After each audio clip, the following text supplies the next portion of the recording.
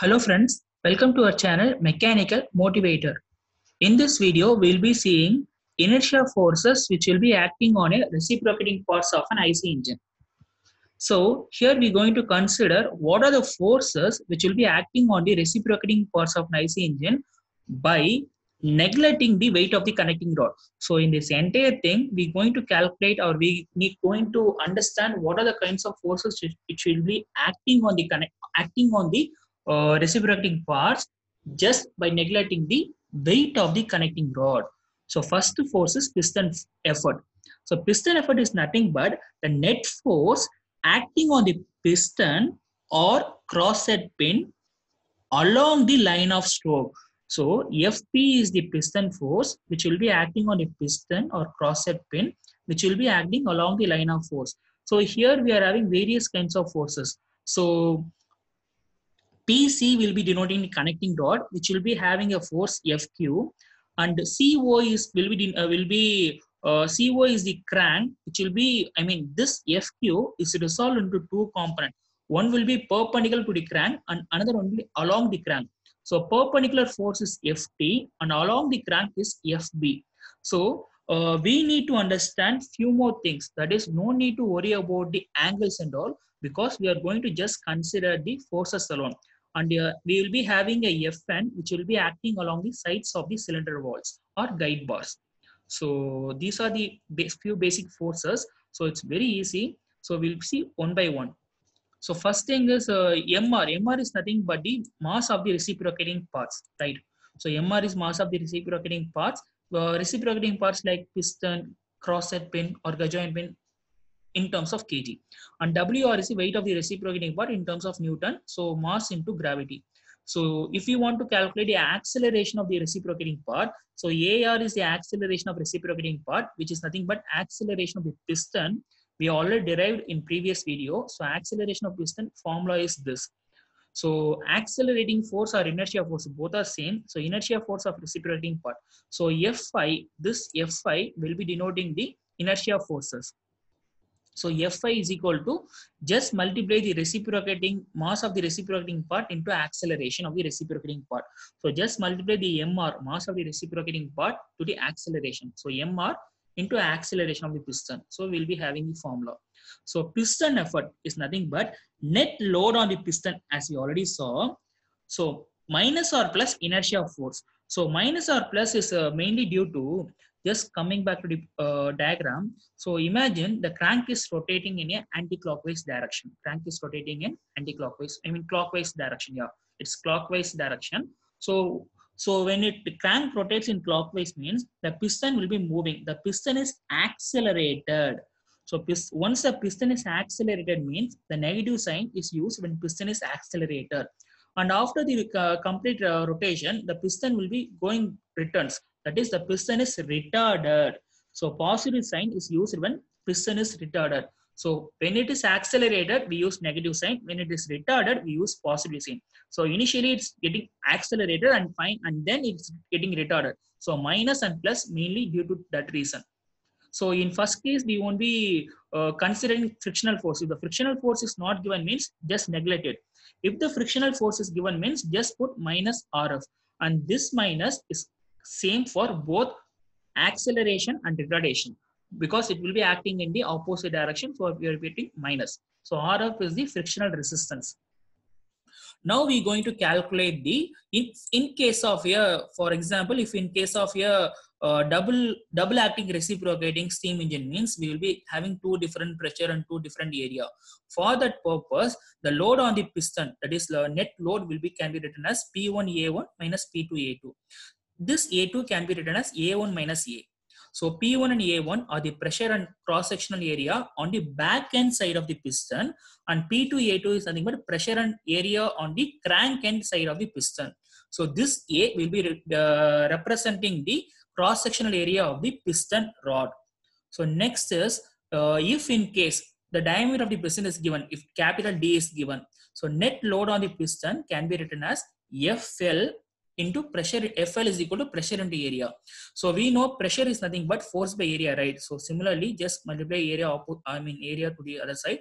So pressure can be written as P and area can be written as pi by 4 D square. So these things holds good for horizontal engine. If in case of a vertical engine means what happens, we need to consider the weight of the reciprocating parts. That will be weight of the reciprocating part will be considered when the piston is moving from downward stroke. That is when the piston moving from top dead center to bottom dead center. So at that time, we'll be putting as plus.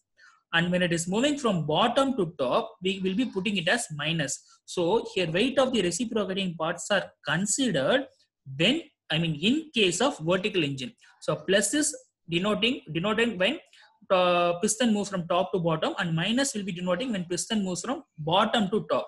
Next thing is the next force is uh, what uh, force acting on the connecting rod. So FQ is the force acting on the connecting rod. So FQ is nothing but we will be having a formula. So FQ is equal to FP by cos phi. So FQ formula they have given FP divided by cos phi and uh, cos phi can be written as cos phi we can easily write cos phi can be easily written as yeah uh, this is the formula for cos phi. Cos phi is equal to root of 1 minus sine square theta by n square. So these things we already saw in derivation also. So just write instead of cos phi write the formula. So fq can be written as fp by root of 1 minus sine square theta divided by n square. And next force is uh, force acting on the sides of the cylinder wall or guide bar thrust acting on the sides of the cylinder wall so yeah, thrust on the sides of the cylinder wall or normal reaction on the guide bars can be written as Fn. So it's easily denote can be seen from the diagram. So this Fn we're going to calculate or we going to uh, have a formula. So Fn is nothing but Fq sine phi.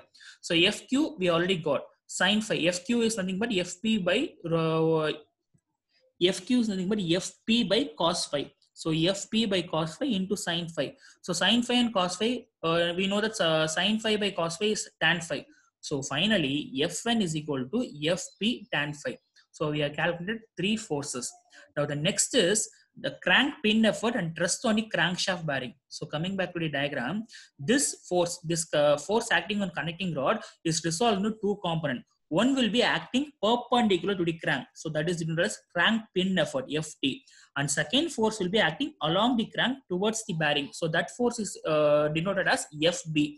B means bearing and T means torque or crank pin effort or turning moment. Just try to remember like that. So crank pin, uh, that, that's what they have uh, written here. So finally we will be getting FT is equal to FQ sine theta plus phi. So FQ can be written as, uh, we already know FQ is nothing but fp by cos phi. See here fq is nothing but fp by cos phi. So instead of fq write fp by cos phi and write as it is sine theta plus phi. So here we will be having fb if it's along the crank means fb fb is nothing but fq uh, cos theta plus phi. So this is uh, horizontal and uh, this is uh, horizontal and that is vertical component. That's why cos and sine they have resolving. So uh, horizontal component is cos and vertical component is sine. So FQ we can write as FP by cos phi which we already saw. FQ is equal to FP by cos phi. So write as it is. So cos theta plus phi. So we have got the formula for FT and FB. And uh, fifth one is crank effort or turning moment or torque on the crankshaft T. So uh, it is nothing but product of crank pin effort Ft and the crank pin radius. So Ft into R will be giving the torque, which is nothing but crank effort or turning moment or torque on the crankshaft. So T is nothing but Ft into R. This Ft can be written as this Ft so ft we got previous right? So this ft can be written as whatever we got here. Fp by whatever formula we have just write as it is. Fp sine theta plus phi by cos phi into r.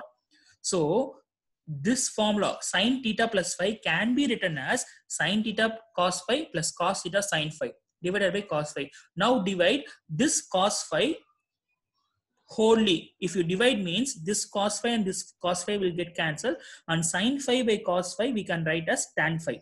So just sine, uh, cos phi cos phi will get cancelled. So just sine theta will be having and sine phi by cos phi write as it is. Sine phi by cos phi is tan phi and write it as uh, just multiply by r radius.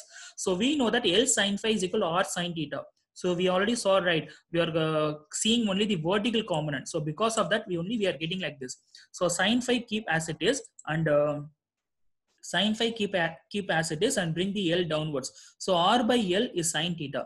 This R by L can be written as N is equal to connecting rod length by crank radius L by R. So it is nothing but 1 by n we will be having. So sine theta by n. So sine phi is equal to sine theta by n. These things also we already saw in derivation. So now we just going to recall whatever we saw. So cos phi can be written as 1 minus sine square theta. So this cos phi can be written as as it is and sine phi we know sine theta by n. So these things also we already saw. So root of 1 minus sine square theta by n square. If we take n square outside means we'll be having only n. So square root and square and square root would get cancelled.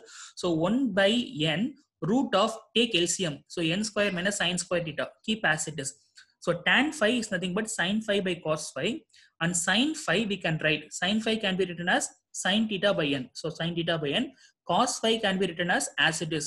So this n will be going to the numerator and uh, n by I mean root of n square minus sine square theta will be coming denominator.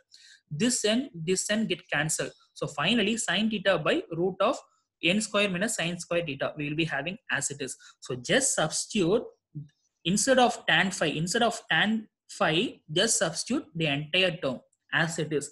So finally we will be having like this. Bring this r to the this side and uh, sine theta plus uh, here we need to have a small modification. So just multiply and divide by 2 just multiply and divide here by 2 because 2 cos theta sine theta can be written as sine 2 theta. So 2 cos theta sine theta can be written as sine 2 theta for that purpose we are multiplying and dividing by 2 so here we'll be getting sine 2 theta as we saw earlier so the as it is 2 will be extra here so keep as it is so now just we going to have a comparison since the sine square theta that is the sine square theta is very smaller when compared to n square. We already saw in derivation also. So just neglect the entire term. So finally, the n square, if it, if it comes outside means it will be having 2n alone because square and square root would get cancelled. So finally, the crank effort T is equal to Fp into R sine theta and sine 2 theta divided by 2 into n. And this entire term, whatever term it's next to Fp can be written as OM. So in Klein construction, we are, uh, we know that the entire term can be written as OM. So OM is equal write the entire term. So this is the basic. I mean, these are the various forces which will be acting on the reciprocating parts of the IC engine, and uh, with these formulas, we can solve few more problems which we'll be seeing in the upcoming videos. In case if you are having any doubt, means just type in the comment section. And these are a basic mathematical equation and uh, reduce we just we are reducing them. So in case if you feel any difficulty means you try to write in the comment section. Please do subscribe to my channel mechanical motivator and press the bell icon. Then only you'll be getting all the videos which i upload. Thanks for watching this video. Have a great day